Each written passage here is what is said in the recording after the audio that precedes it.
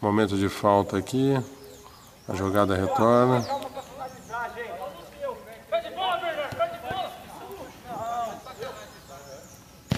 De novo lançamento, jogada manjada, toda a bola lançada para o Cateto.